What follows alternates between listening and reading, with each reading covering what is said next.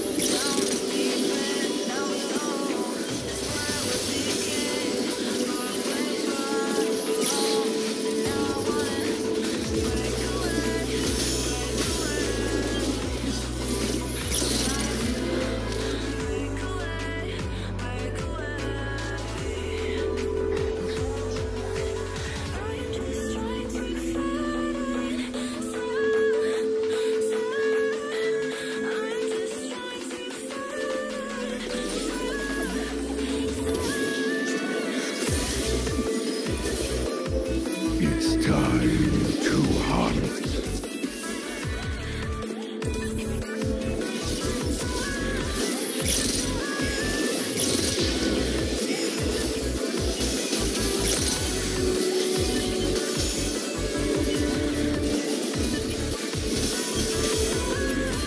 I'll feast on their bones.